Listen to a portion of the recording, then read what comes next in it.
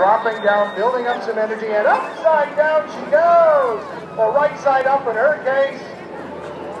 Once again, Jane Wicker.